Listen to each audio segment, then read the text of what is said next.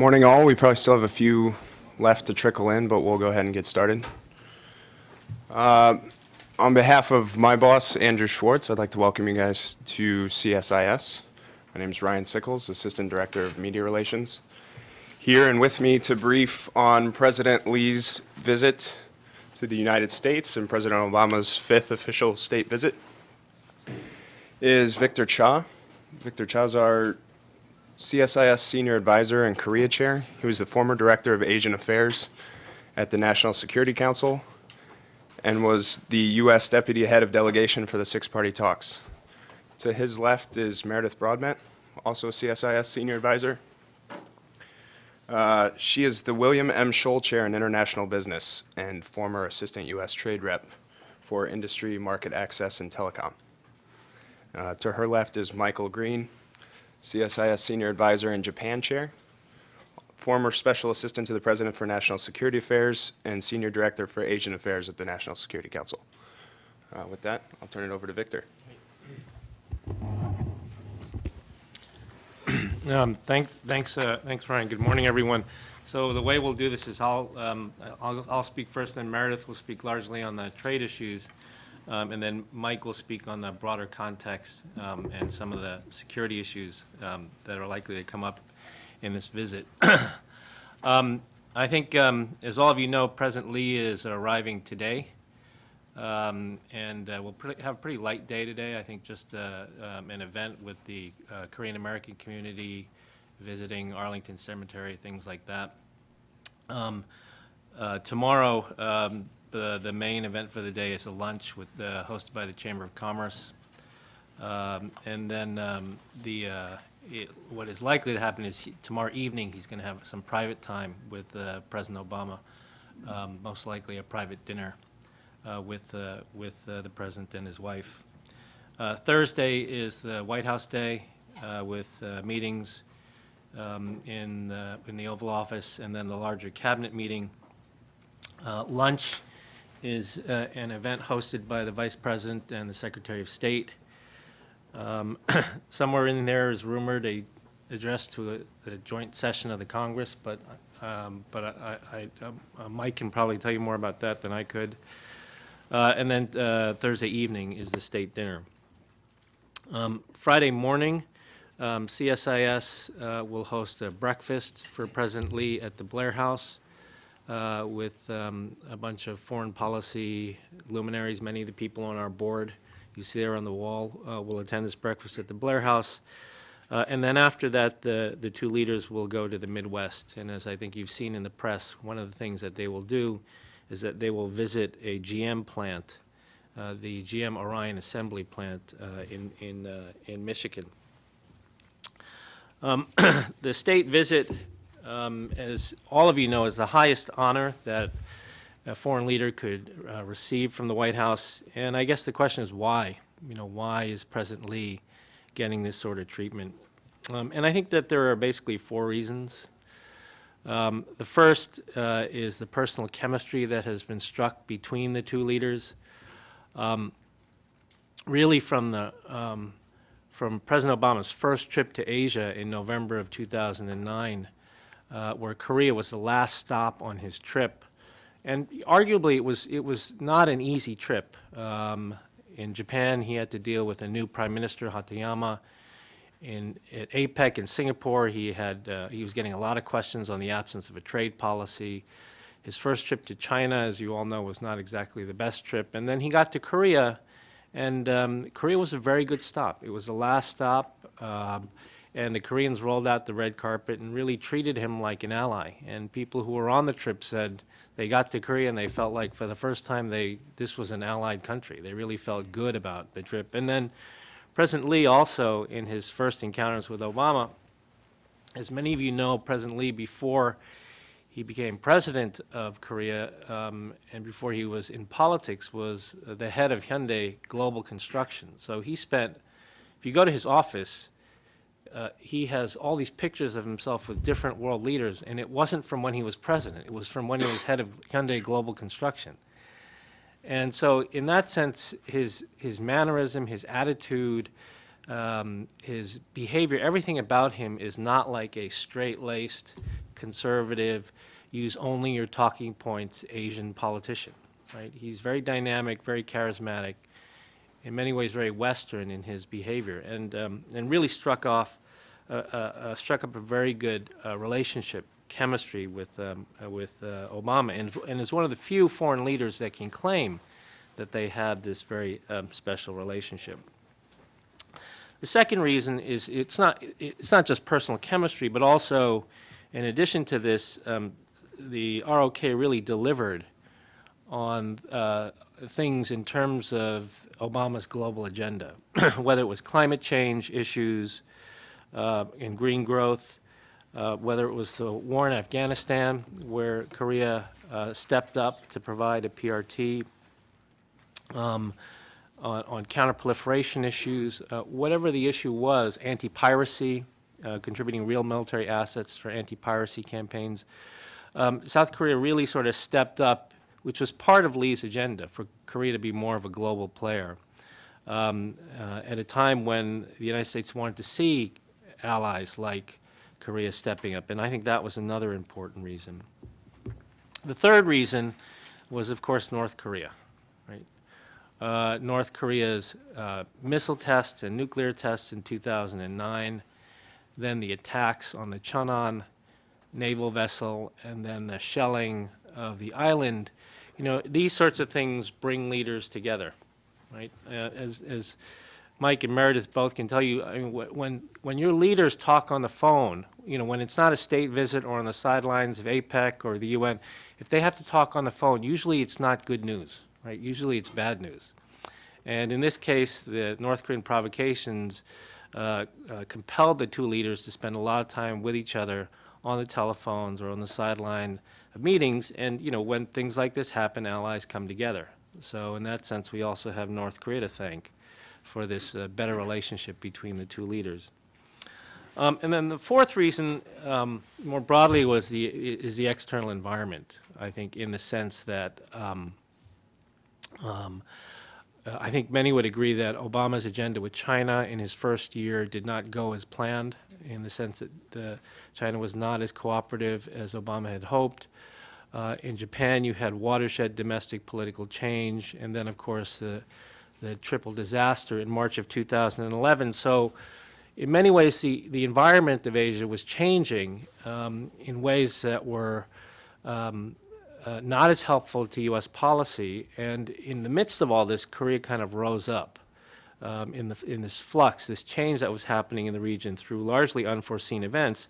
Korea sort of emerged. And I think that was another important reason why this relationship is quite good. So the net assessment I think that many give of the relationship today is it's extremely close. Um, it's probably um, one, at one of its highest points, if not the highest point in history in, in U.S. Korea relations.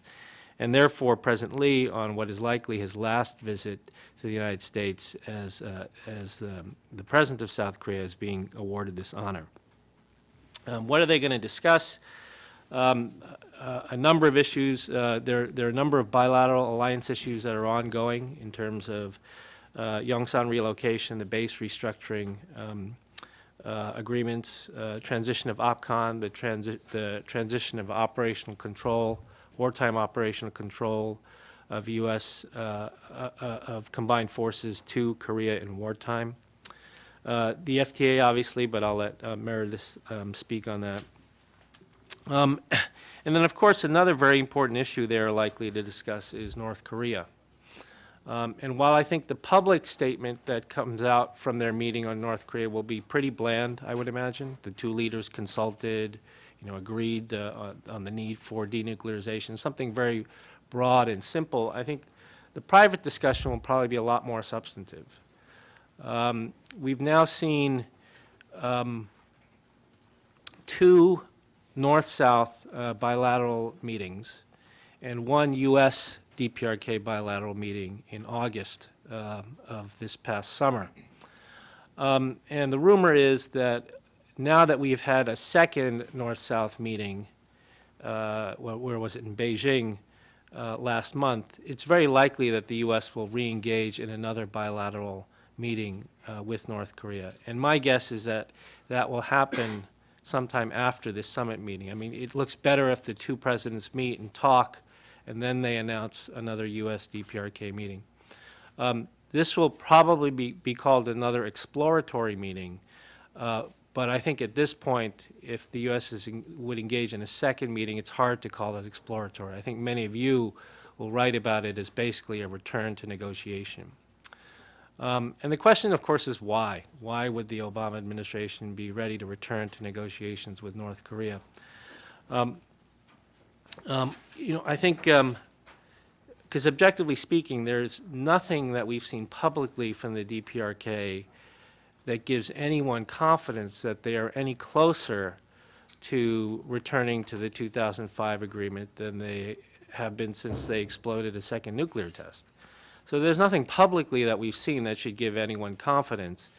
Perhaps there is something privately that the DPRK is saying to the South Koreans and the Americans that make um, uh, them feel more confident. But I don't get that sense either. So it really does raise the question of why go back now. Um, and I, you know, I think I, uh, Mike will talk about this also. But I think one of the reasons is, um, you know, we know that the longer that you do not engage with the DPRK, the more likely it is that they will carry out another provocation. Um, uh, whether that is, uh, you know, a nuclear test or whether that is a armed conventional provocation against the South again. And the danger, of course, is that we're now talking about these sorts of provocations in a completely different environment after the Cheonan, after the sinking of the South Korean naval vessel, because the Lee Myung-bak government has made pretty clear that it is going to respond to the next DPRK uh, provocation. Um, and so this raises lots of concerns about the potential for escalation uh, and uh, you know maybe some fundamental misunderstandings on the part of the DPRK that they are free to the to do these sorts of provocations because they believe they have a nuclear deterrent. Um, as I wrote in the Washington Post yesterday, I think that's wrong. They don't have a nuclear deterrent, but they may believe that, and that may lead them to think they can carry out these sorts of provocations. So I think one of the main issues that the two leaders are going to want to talk about is how to contain this crisis and avoid more provocations uh, by the DPRK, e- even as they continue to put their nose to the grindstone and try to uh, make more progress on the denuclearization aspect of, uh, of the talks. Um, so with that, I'll turn it over, turn it back to Ryan. Meredith, can you talk about the trade? Sure. Um, Yeah, I'm Meredith Broadbent. The trade picture here is, is a really good one. I mean, this is a great week, I think, for the United States and, and for our trading partners, particularly Korea. Um, We have uh, been in a political logjam since uh, three, the three trade agreements were negotiated in 2006 and 2007, uh, mainly looking inward with our, focused on our own domestic politics and really not being able to follow through on the process of, of implementing agreements that close allies signed with us and, and made concessions and announced. And these have been pending in, in, in a, uh, a difficult space, I think, but in bilateral relationships between all these three countries. And I, I'm just including Panama and Colombia here too as, as part of the three agreements that uh, we expect will be approved by Congress this week. And I think a lot of the progress really, this final breakthrough, I think could have, I think the- deadlock could have gone on for another month or two. Uh, But the, the, the visit of, of President Lee is, is an action forcing event. And I think Congress and, and the president were able to come to some agreements where they were ma- able to make commitments to trust each other on the processing of these agreements, which had been long in dispute. And it looks like there's a way forward. The agreements themselves, the, the agreement between the U.S. and Korea uh, is a win-win, state-of-the-art, sound, commercial agreement that will put transparent rules in place, uh, allow fairness and accountability for U.S. business in, in Korea, and get us back into the game of negotiating trade agreements, which our trading partners have been doing during these years that, that we've been more focused inward. It gets U.S. exporters in under a, a tariff tent, basically, in Korea. Uh, We need to keep up with our European competitors. They implemented their free trade agreement with Korea July 1st, so we've been uh, identifying lost sales as a result of that uh, better competitive position that the Europeans are, are in right now. So time is of the essence. The hope is that this, this agreement may be implemented by January 1 of next year, uh, but that will be a, a quick timetable. It puts us in, in a position to assume a leadership role again in a lot of the Asian economic organizations, the Asia Pacific Economic Cooperation Group, the Trans-Pacific Partnership negotiations, which are going on. It's hoped that uh, this breakthrough in Congress will basically open, open up a door uh, for U.S. to exert more leadership in these international negotiations. I think there's been a difficulty that our trading partners have seen uh, being able to assess how quickly the U.S. can follow through on trade agreements and uh, whether, in fact, they can actually be implemented. And I think passage of these three in succession will uh, send a real wake-up call both to the Asia-Pacific region and those economic relationships, and potentially to, to Geneva as well, although it's, it's unclear uh, whether there's, there's any movement, any more movement possible in Geneva. But I think trading partners will look at us uh, as a more serious um, country with which to negotiate. And I think we need to take advantage of uh, this opening and this ability to, to come together and compromise on, on the difficult political issues that slowed down these agreements. I think one, one more point is that going forward, um, as we try to determine what's next on the U.S. trade agenda, uh, Congress and the administration needs to take a close look at the mechanism for implementing trade agreements, trade negotiating authority, uh, to see if it, if it's uh, possible to develop a better mechanism uh, where our trading partners can, can strike one deal and be assured that they can give us our, their best offer and not have to, to renegotiate uh, trade agreements several times before they're actually implemented. Um, So that will be, set the stage for, for a new generation of, of trade initiatives and trade objectives. Um, And it's very important that Congress, the administration, build on the success uh, of this understanding that they look like they've reached uh, so that we can be more, more actively involved, particularly in the Asia-Pacific region.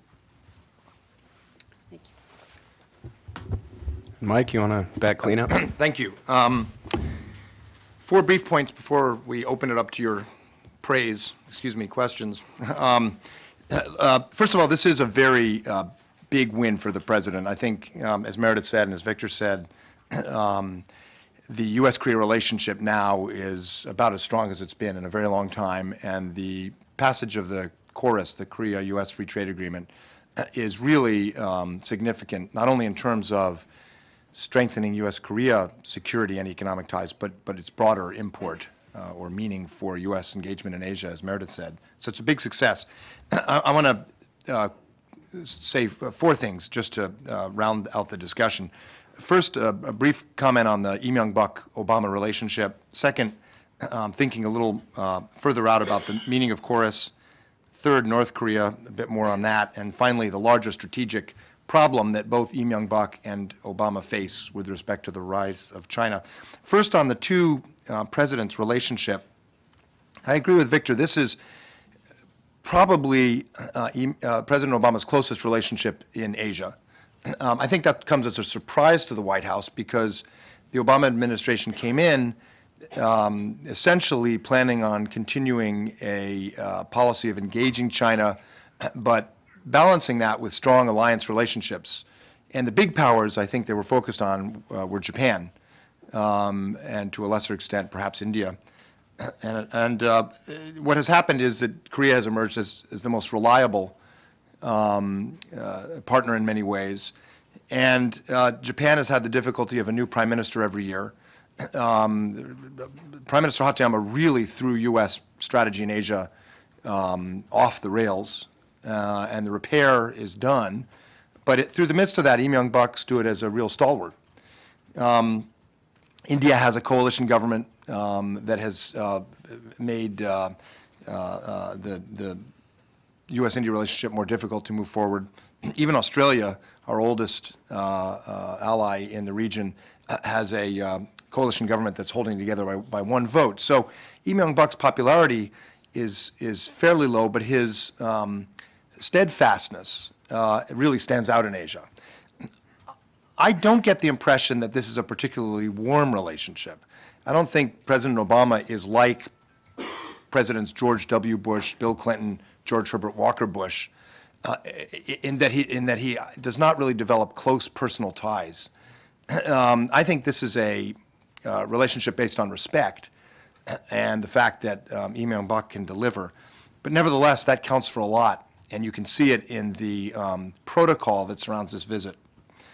On KORUS, uh, Meredith is right. This is a very big day for U.S. trade, for our trading partners. There will be a joint session on Thursday.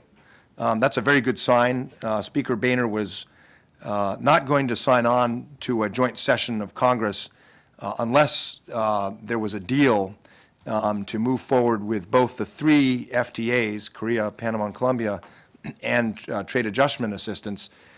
The level of trust between the White House and the Congress is so bad now that each was suspecting the other would do a bait and switch. That, you know, the, the president was worried that, you know, he'd push through the three FTAs and then wouldn't get TAA, and, and the speaker's office was worried that they'd do TAA, trade adjustment assistance, which the unions and the Democrats want, and then the president would only push for Korea, not Colombia, Panama. There was this standoff uh, reflecting the general mistrust in Washington. They've clearly resolved it because um, the, the joint session address by President Lee Myung-bak is going ahead for Thursday afternoon, and that's great news. the, um, the other good thing about this is um, there are 15 chapters in the Trans-Pacific Partnership Agreement. I think there are 15, um, the TPP. And the U.S. is probably ready to um, start locking in about eight or nine of those, but had to wait until KORUS passed because they now have to take those to the Hill and get buy-in. And so the TPP um, uh, negotiating process was essentially frozen until KORUS passed. Now, uh, the administration can go forward to the Hill and lock in in concrete form a lot of, of, of at least the outlines of the chapters in that Trans-Pacific Partnership Trade Agreement. And that's great for the U.S. uh, going into APEC because it puts real momentum behind TPP. Um, Participants in the negotiations who were a bit hesitant and getting cold feet, like Vietnam, will now be under much more pressure to make a deal. Uh, It also puts more pressure on Japan, frankly, uh, to make a decision uh, itself about TPP, because this is now becoming concrete and real. And the consequence for Japan being left out of these uh, multiple uh, trade liberalization deals is becoming more serious. So kudos to the president. Uh, That said, um, he really made Lee Myung-bak suffer to get this. This thing was negotiated, as Meredith said, four years ago, five years ago. Um, uh, uh, Then Speaker Pelosi rejected it, so the Bush administration forced the Korean side to renegotiate it. Then Speaker Pelosi ne- rejected it again. Then candidate Obama ran against the tree, trade agreement. So it took four or five years, and Lee Myung-bak has a lot of political scars uh, on his back for that, and he still has to push through um, a number of um, bills uh, in the National Assembly to pass it. But I think he will, because this adds real momentum. North Korea, I think the U.S. and the ROK, President Obama, President Lee Myung-bak, are pretty much in sync on North Korea strategy right now. Um, They were in sync after the sinking of the Cheonan and the shelling of Yeonpyeong uh, because the North Korean actions were so egregious. It was clear that both sides had to restore the credibility of our deterrence and demonstrate the strength of our alliance. I think in the spring and summer, the U.S. and Korea started drifting apart a little bit because the Lee Myung-bak uh, government demanded an apology from North Korea. And the Obama administration was nervous that this was going to become an obstacle to resuming talks. Um, When Foreign Minister Kim Sung-hwan came here two months ago, uh, he basically backed away from the demand for an apology. And uh, now we have both the U.S. and the ROK engaging in uh, some exploratory talks with the North Koreans. I also think both the Blue House and the White House have the same basic approach on this, which is, as Victor said, why are we doing this? No one really expects the North Koreans to seriously denuclearize. I think both the White House and the Blue House are doing this engagement for defensive reasons. Um, They don't want North Korea to test a nuclear device, nuclear weapon in 2012. The North Koreans have for several years been telegraphing they intend to do that. 2012 is the 100th birthday, is that what you say when someone's dead? Of Kim Il-sung, uh, 100th anniversary of his birth? Um, He never died. Um, And also, the North Koreans have declared for some time in their propaganda, 2012 will be the year they become a full nuclear weapon state. I don't think the Blue House or the White House has any expectation that a, that a grand bargain or a deal of any real import, any significance, um, or denuclearization will begin. So why are they doing it? Because they're worried about what Victor said. They think there's a correlation between whether they're engaging and whether or not North Korea tests. Um, and there is a correlation. Victor has shown it in some studies he's done here. What isn't so clear is whether there's a causality, whether engaging North Korea actually can convince them not to do a test or provocation. Personally, I'm very doubtful. Um, and I think probably Blue House and White House are a bit doubtful too. So this engagement process will be very tentative, try to see if they can dissuade North Korea from provocations, coax them towards a dialogue process. But they're not going to be able, on our side, they're not going to be able to put on the table anything North Korea would want, nor should they. And I think that uh, uh, there's still a, a significant danger of a North Korean test or provocation next year. The last big issue, which we tend not in the U.S.-Korea alliance to talk about so explicitly, but I imagine the President and Lee Myung-bak will talk about, is the larger strategic picture and the rise of Chinese power. Um, Lee Myung-bak, in general, has leaned towards the U.S. more than his predecessor, Roh Moo-hyun, did on the questions of um, where Korea stands with the rise of China. Korea's largest trading partner is China. Um, Their major security partner is the U.S. That's not unique. Australia, Japan, others are in that situation. But the polarization in Korean politics has meant that um, there are big debates about whether or not the government is too close to the U.S. And Lee Myung-bak has moved as close to the U.S., I think, as he comfortably can to try to shore up Korea's own strategic position with China's rise. Opinion polls done by Asan Institute show a pretty clear shift in Korean public opinion about China and a clear growth in, uh, in threat perception, in views that China is a challenge, a threat to Korea. But it's still a very difficult and delicate balancing act. And it comes at a time when the U.S. defense budget is under huge clouds. Um, it's very, we could have enormous changes. We could cut several hundred billion, or we could cut eight or nine hundred billion dollars in our defense budget over the next five to 10 years. And there are a lot of uncertainties, a lot of questions in Korea about the U.S. staying power, about whether we can maintain ground forces on the peninsula. Um, the administration is trying to rethink our posture in Asia to have more flexibility um, and to have more dispersal and to have more reliability. Um, and there was an interesting little incident this last week on Jeju Island, where the Korean Navy is building a new facility. Uh, in practice, it's for the Korean Navy, but the U.S. Navy could use it. And the left, the progressive left, is protesting. Uh, protesting because they don't want U.S. Navy ships coming in. They don't want to be pulled into a conflict with China. And so, uh, while Lee Myung-bak and the Blue House are inclined to do what they can to shore up U.S. forward uh, presence uh, and strategy, there's going to be a big debate in Korea, and negotiating that will be tough for Lee Myung-bak and will take a lot of care and thought by the president. And I would be surprised if, at least in their one-on-one or their personal time, they didn't have some candid discussions about how they're going to manage that piece too. Great, thank you. Uh, The stage has been set. I would ask uh, during the Q and A if you're able to make your way to a microphone so that you are heard on the recording and the transcript, uh, both of which will be available later today. So with that, I'll open it up to questions.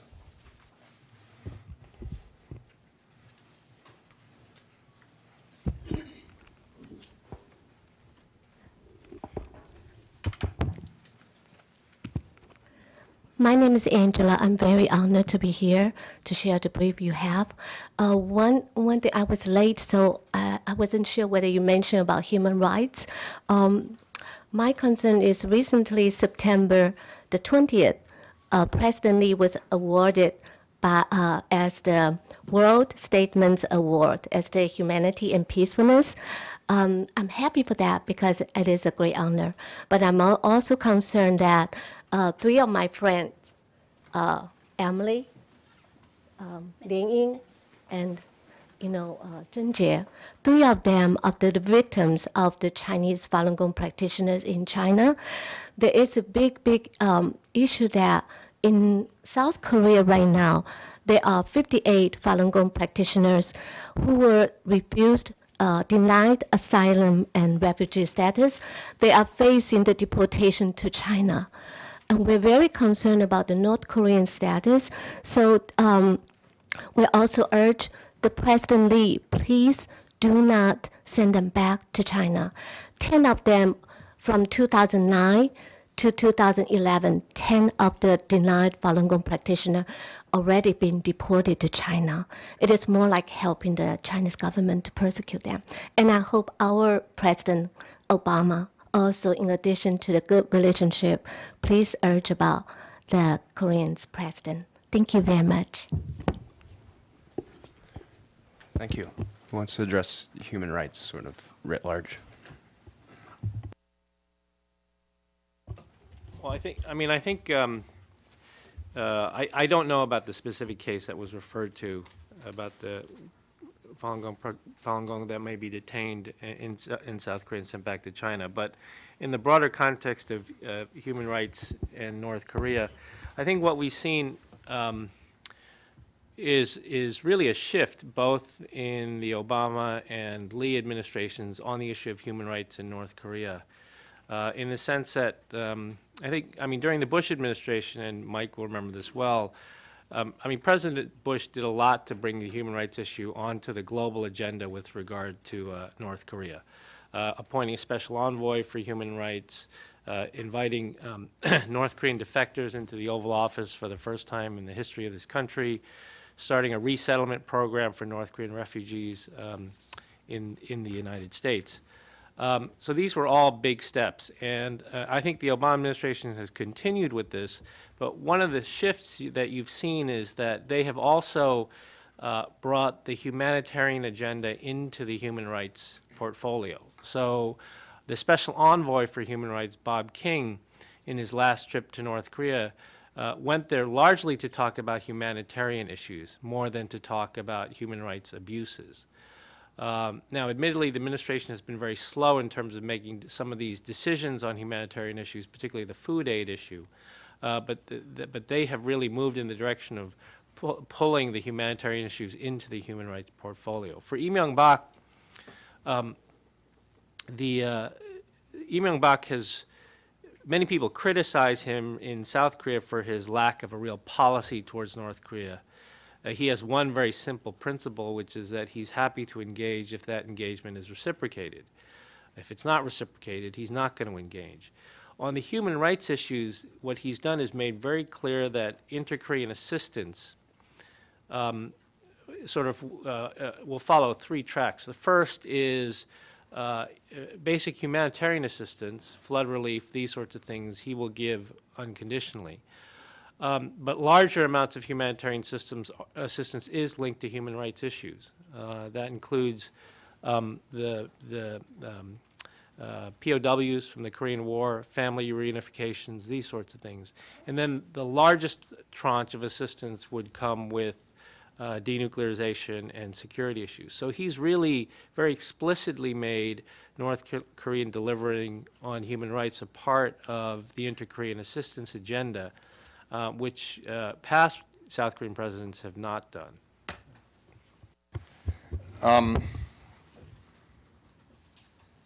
I also don't know the specifics of the case. I do know that, um, that the uh, Blue House now is uh, much more focused on human rights than the previous government of Roh Moo-hyun, including, perhaps in particular, the case of um, South Koreans abducted by the North, which was largely off the radar screen for the Roh Moo-hyun government. Um, That said, correct me if I'm wrong, Victor, but the human rights bill that the, the GNP, the president's party, has tried to pass in the National Assembly is still stuck. Still hasn't passed. And that's because on the progressive left in Korea, there's a long history of viewing um, uh, criticism of North Korea, whether it's human rights or security, as an excuse to justify crackdowns in South Korea, which was, of course, true for many decades. But that still is there as a residual part of the progressive left's DNA in South Korea, where criticism of North Korean human rights is viewed as either dangerously provocative and/or an excuse for the conservatives uh, to stay in power in the South. So it's, it's not an issue that um, President Lee has been able to move forward as much as he probably thought he wanted to. I have a somewhat negative view of the Obama administration's approach to food aid for most of the Bush administration. This changed in the last two years, unfortunately, in my view. But for most of the Bush administration, food aid to North Korea was viewed as something you did because you wanted to help starving people. And if the North Koreans could provide appropriate monitoring and transparency, you would provide food because the North Korean people who were suffering most were not um, accountable or guilty for what the regime was doing wrong. The key thing was you had to have monitoring and accountability to be sure that the food wasn't going to the Korean, North Korean army when you had finite food resources and you had demands in the Horn of Africa and elsewhere, you needed to, on moral grounds, justify it with that monitoring and transparency. The problem with linking food aid to the nuclear negotiations, which is essentially what appears to be happening, is um, you you can no longer make that case. And of course, if you don't get satisfaction on the nuclear deal and you don't give food aid, what you're at least implicitly doing is suggesting that the North Korean people should not get food because of the regime's stance on nuclear uh, issues. So I, I have a problem with this linking of food aid and the nuclear talks. I know that the State Department is looking for leverage and sticks and carrots. We have very few of those, but I think um, it's a mistake. And I think that's uh, where the Clinton administration was in uh, 97, 98, 99. I think it's where the Bush administration, after holding the line, slipped to in 2007 and 8. Um, and I think it's where the Obama administration is now heading. And I think it's a mistake, um, both as policy and as a moral question. Um, but we'll see. It's still under negotiations. There is no deal yet. There is still deep skepticism in Washington and Seoul that, uh, that the North Korean side is trying to get as much aid as possible now so that they'll have stockpiles for when they behave badly later. Um, So there is no deal yet, so we'll see, we'll see what happens. The only thing I would add is that we, we here at CSIS have had basically all the, all the humanitarian groups that have gone to North Korea, the US NGO groups, um, uh, the elders group, uh, that have gone to North Korea on this issue have come through CSIS and, and have briefed us on this issue. And, and the last group to come through were the ones that went to do flood assistance in September, where the U.S. did allow for, what was it, $900,000 worth of flood assistance. And, um, and they were very clear, I mean, the NGO groups are very clear that they're very uh, upset with the Obama administration at this point, holding this decision out for so long. And I think, um, I think many of them are going to start to go public with their criticism uh, of, of the administration.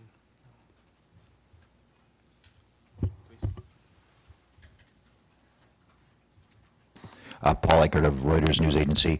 Uh, It's quite remarkable, the the pendular nature of U.S. ROK relations, if you think back to the low points of the Roh Moo-hyun era. And I'm just wondering, given that uh, President Lee is a one-term president by definition in their system, has an election next year, are there things that can be done this week in Washington and onward that can kind of bolt down these relations so that they won't be vulnerable to the kind of swings that happened in the past? Um, Or is it all pinned on one man and his particular political strengths? Great question, Paul. You know, I think, um, uh, well, the FTA certainly is one thing that could be done. I mean, that is something that really does take this relationship to the next level. Um, and alliance managers are always trying to figure out how to do that. You know, and I think uh, I think this is certainly one thing. Um, yes, there is going to be an election in South Korea next year, and the current president cannot run.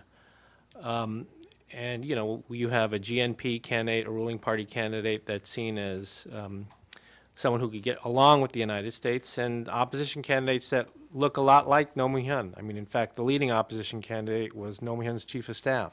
Um, but I think the difference now is that the U.S. ROK relationship, after this many years, um, is much less politicized in the context of Korean domestic politics as it has been in the past. Um, I think both uh, progressives and conservatives um, have internalized the idea that that uh, being in favor of a strong U.S. ROK alliance is politically a smart thing to do. Um, and I think they've learned lessons from Moo-hyun that uh, going in the other direction is not something that's that that's uh, that's good for them.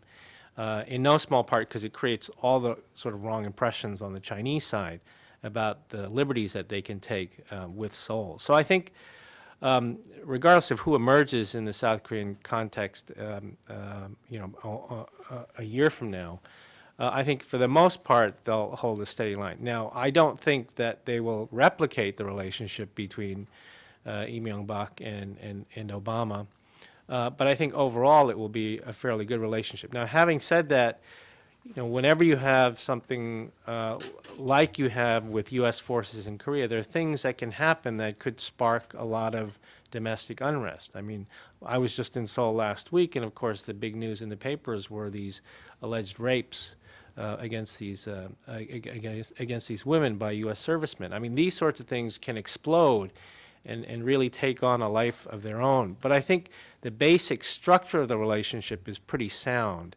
And in particular, the, the volatile variable has always been this question of how the alliance plays in South Korean domestic politics. And at least all the polling that we're seeing recently, you know, clearly in the aftermath of the Cheonan, but also recently shows that in general, South Koreans, both progressives and conservatives, you know, still well over 50, 60 percent, see the alliance as being quite important to Korea's uh, future. And Yeah, also, oh, sorry. Go ahead. Go ahead, Meredith, please.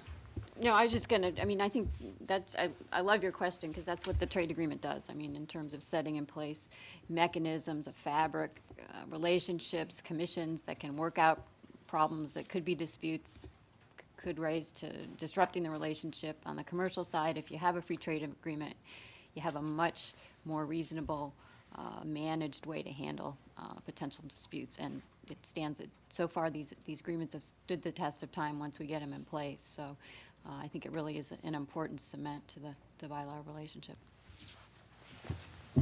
I have a column in uh, JoongAng Ilbo in Korea, and last year, after a number of Korean and American columnists had written the U.S.-Korea alliance was better than ever and on a new plane and um, flying at a new altitude, I, I wrote a column saying, yes, that's what we said about the U.S.-Japan alliance when Koizumi was there. um, so um, nothing is written in stone in terms of uh, solidarity between allies. Um, I remember showing Condoleezza Rice on the flight to Korea once public opinion polls about the U.S. in Korea, and they were basically bouncing up and down every few years. The low point was not Roh Moo-hyun, it was actually um, the agreed framework uh, in 1995 was the low point of Korean attitudes towards the U.S. But they bounced up and down. There's a certain volatility. um, that said, I think KORUS locks in, as Meredith put very well, a process for integrating our economies and resolving disputes. The other piece is on the security side, the agreements on transferring wartime operational command and, and redesigning the uh, joint uh, and combined command structure, um, put in place a series of strategic dialogues and operational and procedural things between the militaries. And that kind of process really helps you um, uh, refine and, and revise and, and work on the alliance even with political change. So that's good. Um, but um, uh, you know, there are a number of candidates emerging. We, you know, the, the, it's not clear that Sohn Hak-kyu or someone like that will be the candidate for the progressive camp. He's pretty moderate internationalist, but it won't necessarily be him. And so, um, you know, it could be a, uh, an interesting transition. um, the, uh, the other thing uh, about the alliance is we have to be careful not to ask for too much. I mean, there may be a temptation to, to get Lee Myung-bak to agree to lock in a lot of things before he leaves. But after KORUS, he's close to a lame duck in many ways. Some would argue he already is. And getting the KORUS pieces passed, finishing up the elements of, of the wartime OPCON transfer and so forth, that'll keep him pretty busy.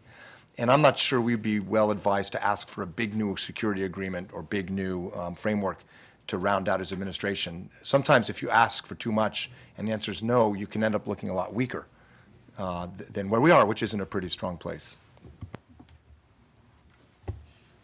I just want to mention when I was talking about the microphones earlier, I didn't mean to make that a barrier to entry. If any of the backbenchers want to ask questions, I'm happy to repeat for the recording. microphone and a- Sir. Excuse me, uh, Anthony Izaki with NHK. Uh, Mr. Cha and Mr. Green, I think you both touched on this a bit, but I'm uh, wondering if you can go into more detail about why it makes strategic sense for the U.S. to emphasize the South Korean relationship war- more while Japan's sort of taking a back seat a little bit.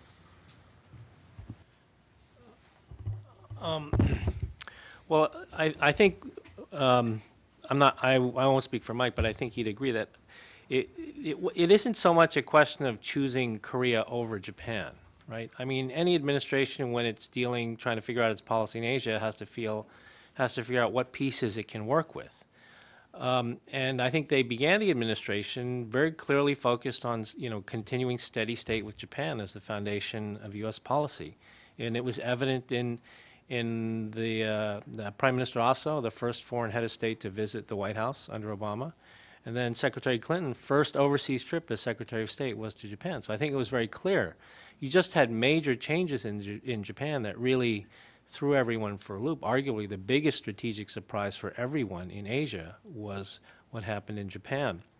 And so, you know, if you're administration, you're just trying to figure out what you can work with. And South Korea, you know, little by little started to emerge. First, it was in Copenhagen, very supportive of the climate change agenda. Then in Afghanistan, you know, after Obama said he was pulling out of Iraq and looked for support from Europeans in Afghanistan, you know, nobody was willing to show up, but the Koreans were willing to show up. So piece by piece, Korea started to emerge. Um, you know, you add into that the North Korean attacks, uh, and it becomes a very, very close relationship. So um, uh, I think, you know, I would agree. I think it's the closest partner for the United States in Asia today, but in many ways that was accidental. It wasn't uh, deliberate.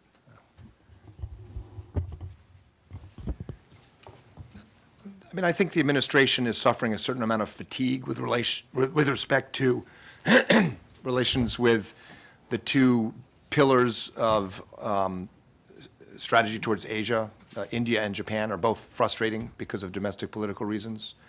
And as Victor said, you know, Korea under Lee Myung-bak is delivering, and there's momentum to the relationship.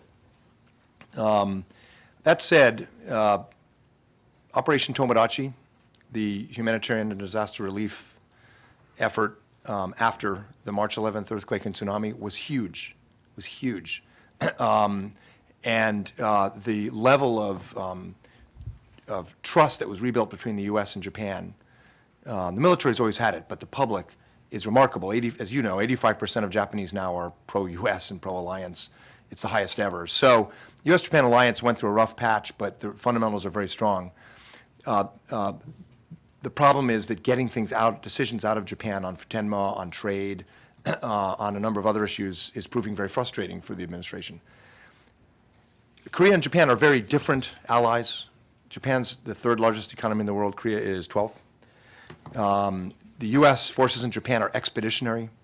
Under Article 6 of the Security Treaty, they go all over the Far East and um, have a mission well beyond Japan. U.S. forces in Korea are, are um, moving towards some more so-called strategic flexibility, but are basically about defending the ROK from the north. The alliances are, for that reason, uh, quite different. The economies are different. Um, the worst thing the U.S. policy could do is decide there's a kind of trade-off between Japan and Korea. Um, they're, they're apples and oranges, so to speak, and we need both. And I think in general, the administration has recognized that and has tried as much as possible to, to encourage trilateral cooperation uh, among the U.S., Japan, and Korea, rather than trading off uh, between one and the other. Did you? Yeah, I didn't know if you meant in, in the, uh, the, the free trade agreement sphere as well. I mean, are you seeing a preference for Korea over Japan at that point, or was, was it more of a security? I mean, I think the future on trade relations with Japan will be exciting to see in the future, in, in the next couple of years. I mean, we've, both of us, both the United States and Japan, had put an awful lot of political capital in the Doha round of multilateral negotiations in Geneva. Japan was a leader, the U.S. was a leader, and I think you see that uh, ramping down a little bit and, and more of an emphasis on, on these regional trade agreements. So it would be my hope that, you know, Japan would go through a, a pretty thorough discussion internally next year to kind of assess whether they'd like to be involved in this Trans-Pacific Partnership negotiation, because it, we hope, will be a platform that we can bring a lot of like-minded countries together to, to cooperate economically. Down on the end. Thanks. Uh, Dan Robinson, Voice of America. Um, I'm wondering, Michael was mentioning a Trans-Pacific Partnership, which was a big deal during the President's South America trip as well. Can you, can you all, uh, all of you look ahead a little bit to the Bali Summit, to the East Asia Summit, and talk about uh, prospects for, uh, uh, for progress on TPP, as well as what, what may be carried over in terms of the the advantages of the relationship with, between the President and Mr. uh, and and Mr. Bach into, into Bali? All right. Um, The, um, well, the passing of the KORUS FTA will be a huge boost for TPP. Because as Mike said, a a lot of things were put on hold uh, because of, of KORUS, not least of which was Korea's position on TPP um, uh, which I think will be strongly in favor of after this. You know, there's, there's always this, for many of the countries, in, well, at least for the three countries in Northeast Asia, there's always this comparison between whether they should do a plus three FTA or whether they should go TPP. Uh, I think a lot of the discussion about plus three was largely because uh, TPP was sort of sitting there idle, and the Koreans were not saying anything about TPP. I think once KORUS gets passed, Koreans will come out in favor of TPP, and it will create a huge um, cycle of momentum, not least of which will involve Japan, because I think after KORUS gets passed, um, I think the Japanese will come on board uh, with, I mean, Meredith said they'll have to think about it. I think they will think about it hard, and they will come on board with TPP. So what does that mean as we look to APEC and the Bali summit? It, it means that potentially the Obama administration could possibly get a framework for TPP in place by the time of these multilateral meetings. If they could do that, it would be complete, uh, what's the, it would be the perfect irony because the administration that started out so negative on trade in Asia would end its first term, you know, or maybe its only term, first term, only term, uh, in office, uh, laying down probably the two most important aspects, building blocks of getting to FTAP, or Free Trade Area of the Asia Pacific, with KORUS and with a framework for TPP. Yeah, I mean, Japan will have to think in the sense of, the practical result of the, of the KORUS FTA for Japan is that Korean manufactured exports in particular will become uh, more competitive in the U.S. market. Since we didn't negotiate a multilateral agreement, our tariffs are still, still relatively higher than they would be, and so uh, Korea is getting, will get that advantage, and they compete very directly with a lot of exports from Japan, as you know. You mentioned the East Asia Summit in Bali. I think the administration, they're doing three things. The president's doing three things on this trip in November. He's going to Hawaii for APEC, the Asia Pacific Economic Cooperation Summit, also known as Four Adjectives in Search of a Noun. Um, He's going to Australia, which I think will largely be about the alliance. Uh, And then he's going to Bali for the, for his first um, time in the East Asia Summit. I think the administration views APEC as the uh, premier vehicle for advancing a trans-Pacific trade architecture, not the East Asia Summit.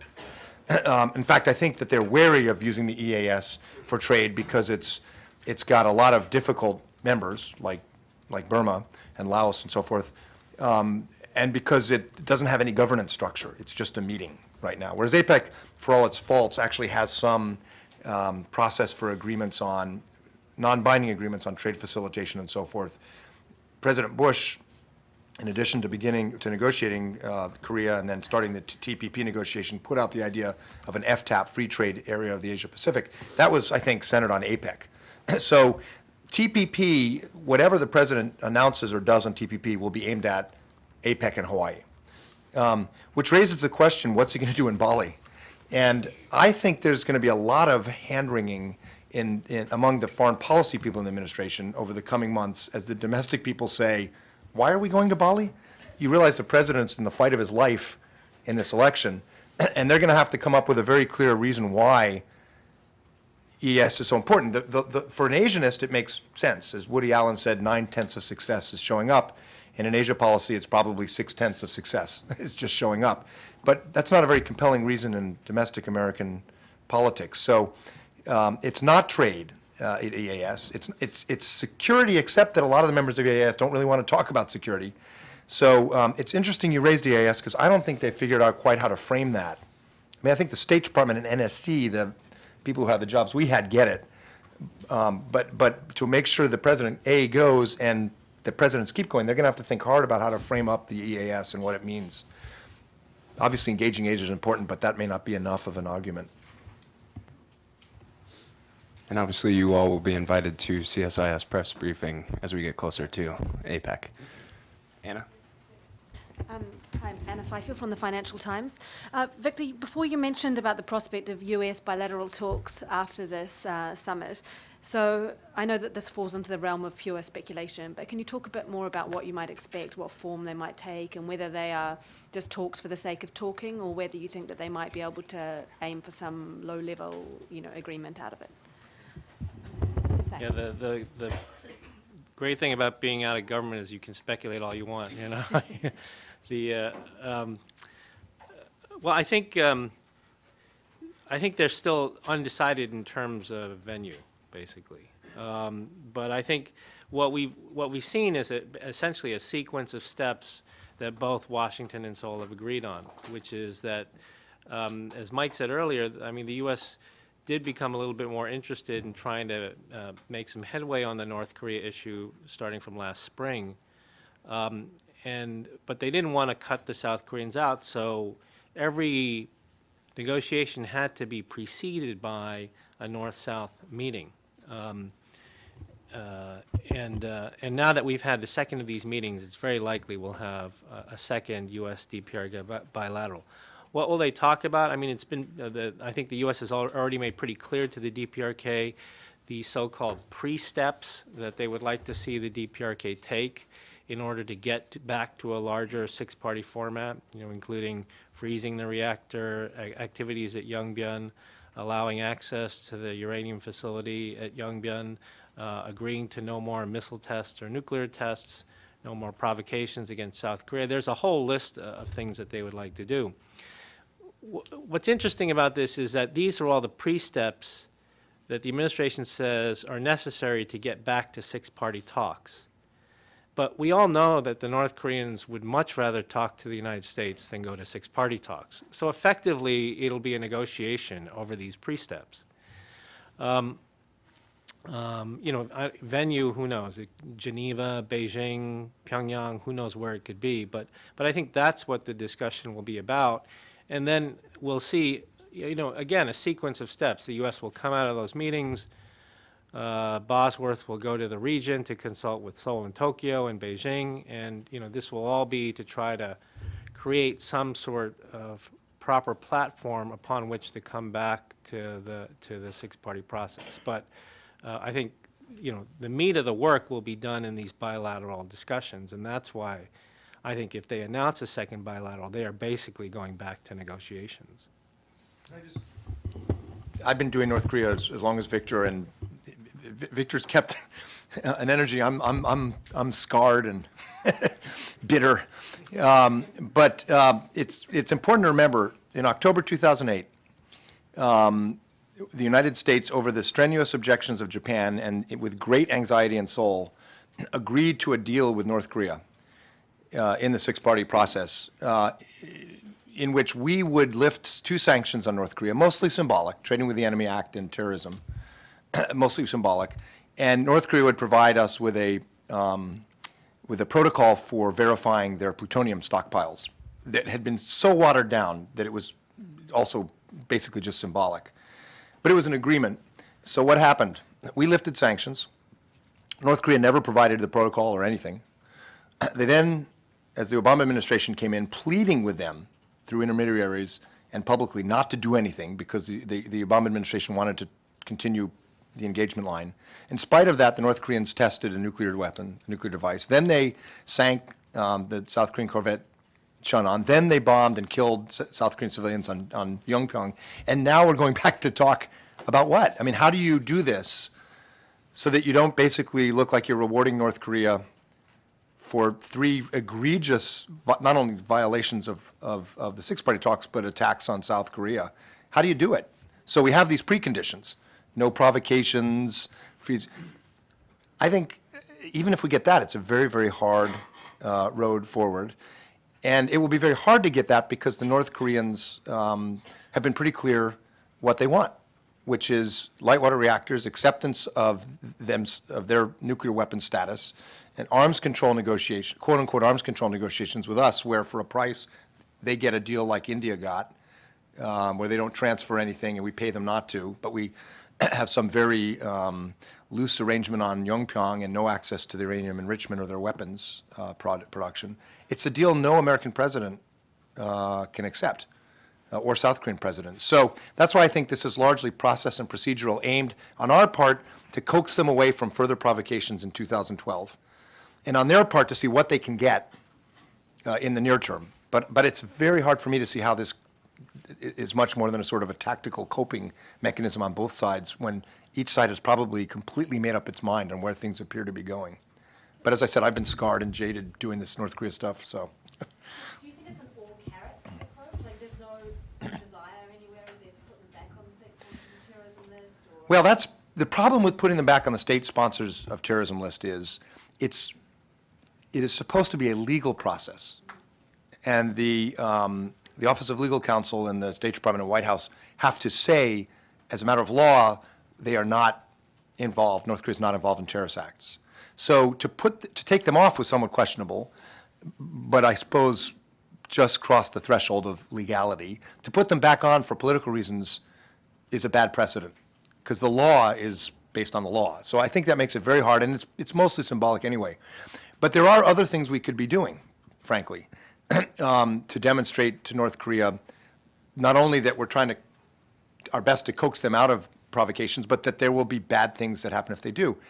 The Koreans and Japanese in New York at the UN, at the Security Council, have been trying to get some discussions going on um, the outlines of what we would do in further Security Council sanctions so that um, the U.S., Korea, and our dialogue, or the Chinese could, could say to the North Koreans, look, so you know we're serious, we've got some ideas on what we're going to do to tighten sanctions. Um, the uh, U.S. delegation to the UN made a sort of half-hearted effort, went to the Chinese. Chinese said, no, we don't want to do it, and the U.S. gave up. So I, I, it's a good question. I think there are more things we could do to make it clear that there will be downside for North Korea um, if, if they do move in that direction. Um, the administration's not wanted to go there. There are UN Security Council traditions. You know, you don't fight losing battles in the Security Council apparently, and so the reasons why procedurally the U.S. didn't want to do it, but but we're not um, uh, uh, putting in place a set of expectations for North Korea about how bad things could get for them if they do provoke. In my view, I, I've not seen it. I, I mean, I, I, I agree with you, Anna, that, um, what was suggested by your question, that um, if, if the Obama administration has no evidence that they can point to that the North is serious this time, um, and they want to avoid at least the political criticism that they are basically rewarding bad behavior again, it seems it would be perfectly logical that they should, before they reengage, reengage with the other parties, the other five, to figure out what the costs are going to be if this negotiation fails. I mean, what the costs, what costs will be imposed on the North if this negotiation fails. Um, because you know, forever we've said to the North Koreans, "You denuclearize, or something bad's going to happen," and nothing bad has ever happened. So, uh, I think particularly in this sort of situation, they, there needs to be that sort of dialogue. In a perfect world, there would be that sort of um, coordination taking place. But as, as Mike said, that that um, it's very difficult to move certain countries like China on on discussing this this more tougher path. Um, not that we'd ever get close to a return to 2005 or 1994 with this, you know, supposed negotiation that's coming up, but as as I've written, I don't think if there is a future uh, agreement with North Korea, it should not include light water reactors. I mean, after Fukushima now, I think everybody, I would argue even the Chinese are concerned about putting any sort of nuclear technology, civilian or otherwise. It should not be on the table. That everybody um, has realized that this is not a good thing for the DPRK to have.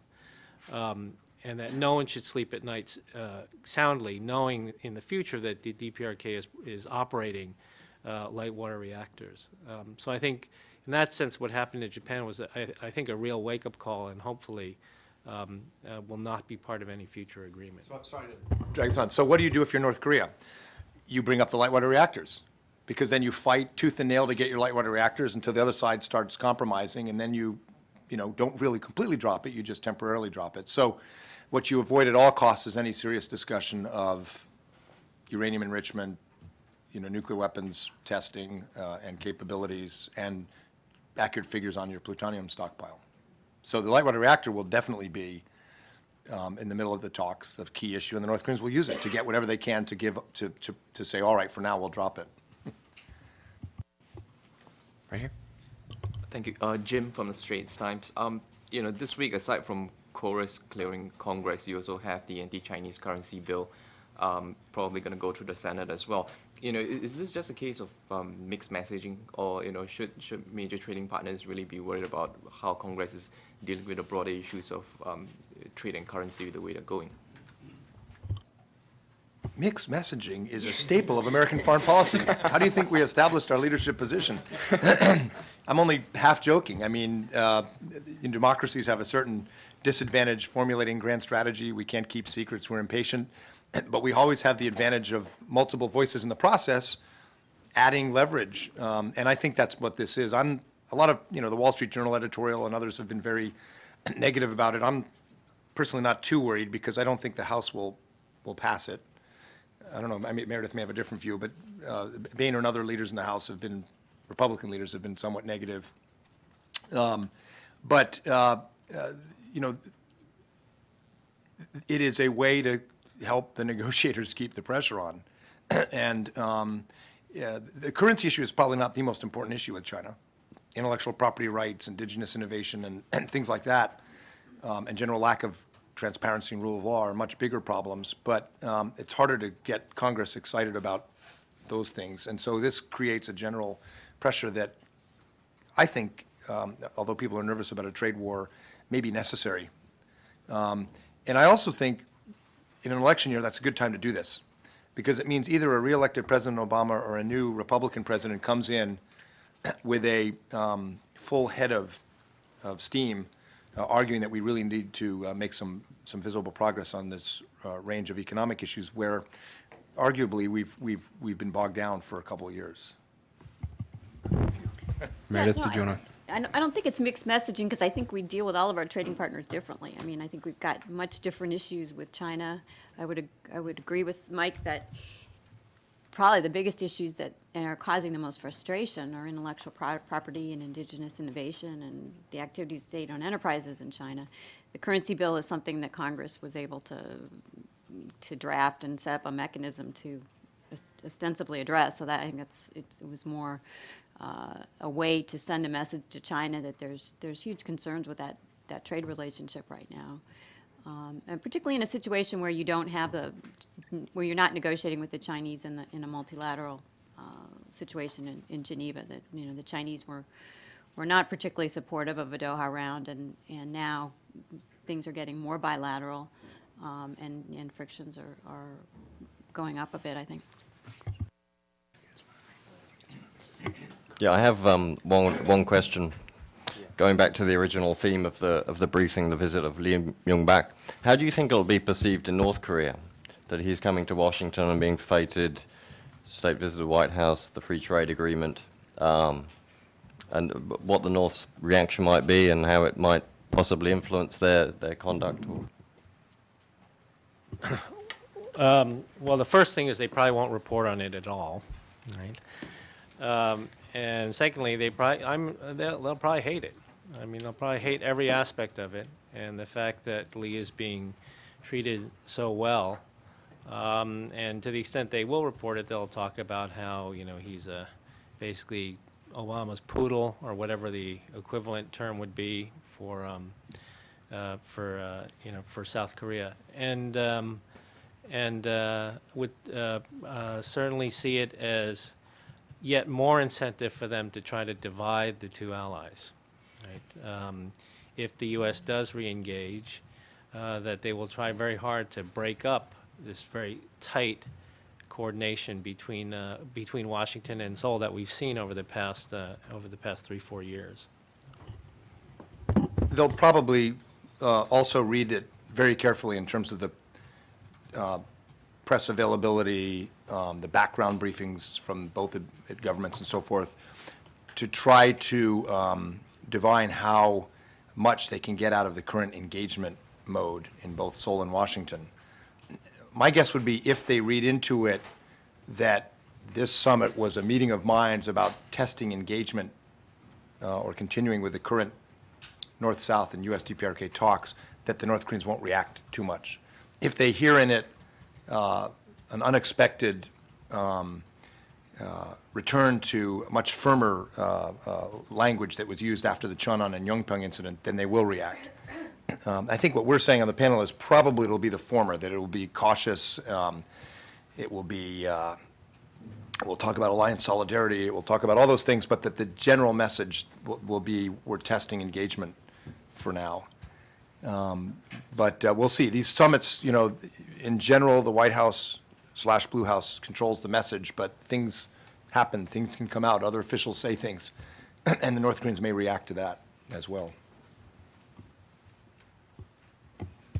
Paul, round two.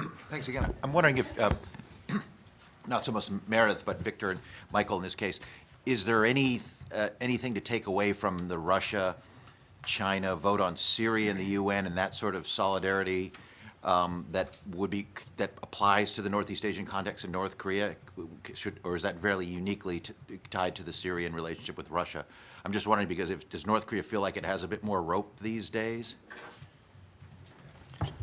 Um, Yeah, I think they do feel like they have a lot of rope these days. Um, um, You know, there's nothing in the, in the Chinese domestic political context that would lead them to be any tougher on North Korea.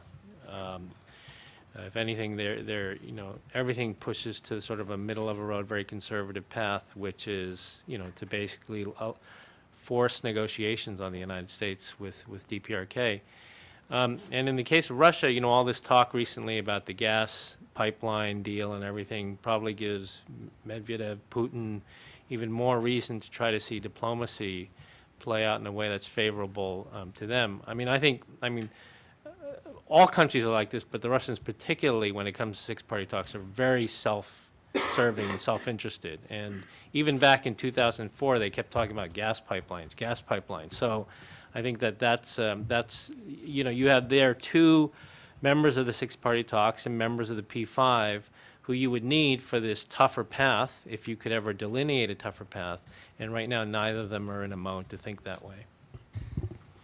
I think uh, Iran, Syria, North Korea watch how the big powers treat each other very, very carefully. Um, And uh, they will take some comfort from the uh, Russian and Chinese position in the Security Council in Syria. I have no doubt about that.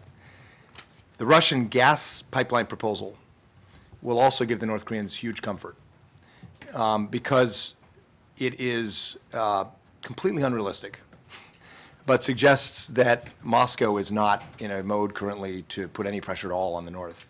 This, by the way, was first proposed to President Bush by Putin after the uranium enrichment crisis in October 2002. His first response to the president was to send a letter saying, I have an idea that will solve all of this. We'll build a pipeline through North Korea to South Korea. Everyone will become cooperative partners. Problem solved. um, the president said, very interesting, we're forming five-party talks. You're not in. And uh, in St. Petersburg, when he met Putin, he put it more diplomatically. And, and Putin didn't like that. So he started modifying his position to get in uh, uh, to maintain some um, skin in the game in Northeast Asia. so the pipeline thing coming up again to me is a signal to everyone who's been following this, especially the North Koreans, that Russia is not going to put any pressure on them. Um, it also says something about Putin's Far East policy, which is it really is kind of opportunistic and, uh, and inconsistent compared to his main priority, which is, you know, countering the West overall. It also raises the other issue, you know, we have two levers we pull uh, in, in, in diplomatically. We can either pull the six-party uh, lever and try to have broad consensus that includes the Russians and the Chinese, or we can pull the U.S., Japan, Korea alliance lever that puts more pressure. It's more divisive, but it puts more pressure. And, and Bush, well, Clinton, Bush, and Obama have sort of played with both levers. The lever we're now, the lever we were pulling until about four or five months ago was trilateral uh, after Cheonan and Yeonpyeong. Um, the lever we're pulling now is multilateral. Uh, it's looking for a broad consensus among the parties. Why? Well, it, in part to try to dissuade the North from um, testing, but also I think, frankly, for both the Blue House and the White House, I think I suspect um, that there's a real desire to kind of find a process to let this thing play itself out over the course of, say, a year and a half. In other words, past the election date. Um, And if you go with the trilateral lever, it raises the heat. It raises the confrontation. It creates um, uh, moves and counter moves. It takes, it, there's some risk to it. And, and I don't think that either the Blue House or the White House right now want to go that path, uh, given everything that's going on, both politically and diplomatically. Um, But it's not, a the Syria thing is not a good sign in terms of um, getting broad six-party consensus on any kind of uh, uh, pressure on the North to, to deliver.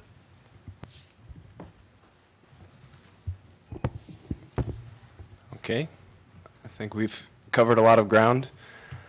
Uh, I'd like to thank you all for coming to CSIS. Uh, Again, let me repeat that the uh, video of this briefing and the transcript will be available at csis.org later this afternoon. Um, I'll also send around the transcript to those of you that are in the room. Uh, And feel free to contact Andrew or I at any time. We would like to make our experts available to you guys, um, and we're happy to help. Thanks again.